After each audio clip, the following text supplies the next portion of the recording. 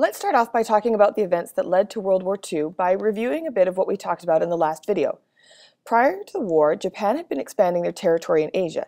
Because Japan had limited essential resources like oil, they wanted to ensure that their nation would always have access by conquering regions that did have the resources they wanted. In addition, we mentioned the cult of personality that was created. Part of that viewpoint was the power of the military. So conquering other territories helps to encourage national pride. By establishing hegemony over the region, the Japanese could be assured that they would be able to achieve their national goal. As Japan conquered neighboring regions, many of the locals would welcome the Japanese takeover because it was usually European colonists who were being kicked out. The local population saw the Japanese as liberators who would better understand them because of cultural similarities. But as the Japanese began to oppress their new territorial populations, the people saw that they had just traded one overlord for another. There were some terrible atrocities committed by the Japanese imperialists, one of the most notorious being the Rape of Nanking, where the Japanese military committed terrible acts as they took over the region in 1937. An organization that was created by the Japanese to establish their regional power was the Greater East Asian Co-Prosperity Sphere, which was promoted as a free trade agreement, kind of like NAFTA, but it ended up basically allowing the Japanese to take advantage of the other members. And this economic situation is related to the bombing of Pearl Harbor. As the Japanese sought to expand their territorial control, they were starting to come up against U.S. colonies like the Philippines.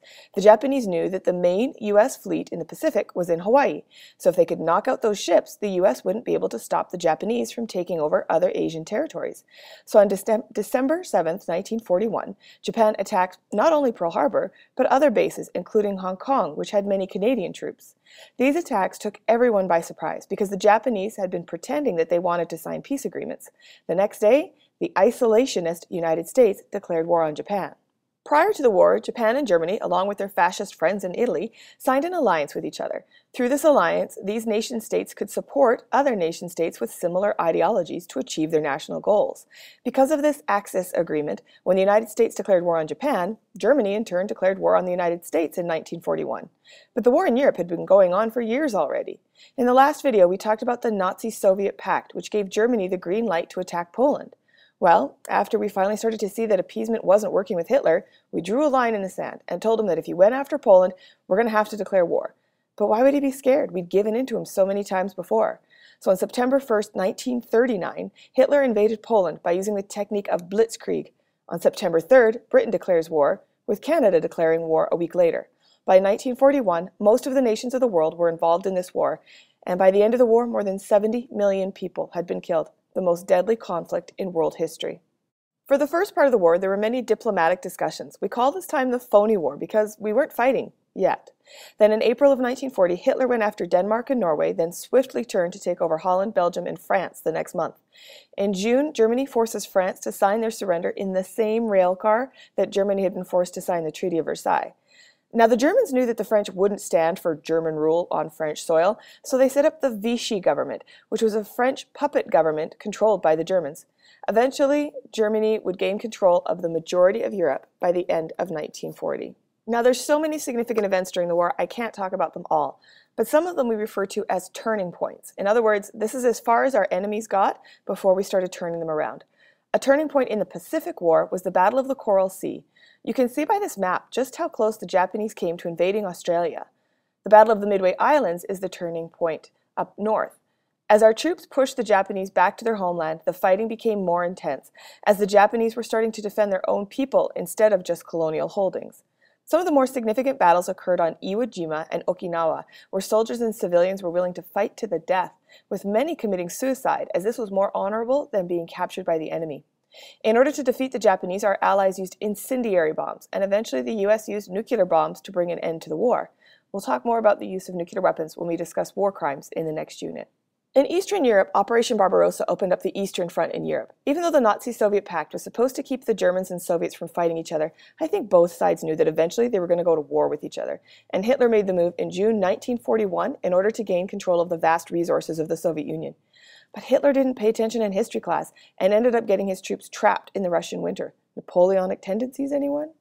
Operation Barbarossa was one of the deadliest conflicts in the war, with an estimated 775,000 German casualties and more than 800,000 Soviets killed, with an additional 6 million Soviet soldiers being wounded or captured. Later, the Battle of Stalingrad, which started in August of 1942, became the turning point in the East, with Hitler refusing to allow his troops to surrender. They eventually defy his order in February of 1943. This resulted in the horrifying loss of 850,000 Axis troops who were either severely wounded, captured, or killed, and 1.1 million Soviet casualties. Another major operation was Operation Sea Lion, which was the code name for the invasion of Britain. This invasion never happened because the Germans couldn't see an opening for them to be victorious. But the Battle of Britain included heavy aerial attacks to try and destroy the British Air Force to open the door for attack. What's interesting is that the Germans at first bombed, RAF or the Royal Air Force sites, but then changed tactics to bomb civilian locations. There's a lot of debate as to why the Germans changed tactics. One suggestion was that the Germans were hoping to destroy the British morale, but instead it did just the opposite. The people of Britain rallied together as one nation to fight the Germans. I'm going to share with you in class the experience of my husband's family, who was bombed several times in London during World War II. In North Africa, the turning point was at El Alamein in 1942 as the Allied troops fought against Rommel's Panzer Division Afrika Korps.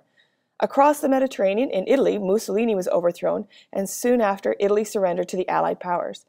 But the biggest maneuver was off the coast of France on June 6, 1944, when the Allied forces attacked Normandy.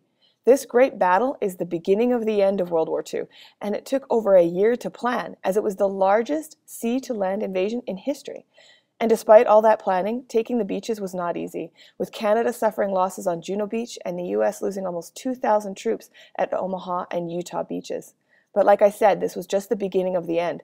It took another year for Germany to be defeated, with victory in Europe achieved on May 8, 1945. Notice I said victory in Europe. The fight in the Pacific would last until the Americans used nuclear weapons in August and Japan signed their surrender on September 2nd, officially ending the World War. There's so many other aspects of the war, including how it affected our lives on the home front, but of course I'm running out of time.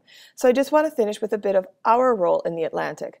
While Canada played a major role in many areas of the war, both in Europe and the Pacific, we also had to protect our homeland. The Battle of the Atlantic meant that Canadian ships were needed to help escort the supplies coming from North America over to Britain. Our corvettes were often used to protect these supply ships. In response, the Germans resorted to unrestricted submarine warfare, and the fighting came within the Gulf of the St. Lawrence and even up the lower part of the river. My grandfather fought in some of these battles. This fighting was the closest Canada got to having the war come onto our shores, although the Japanese did try and start a few forest fires by sending incendiary bomb balloons over the Pacific. So, much like World War I, millions died, and lives were changed forever, all in the pursuit of national interest.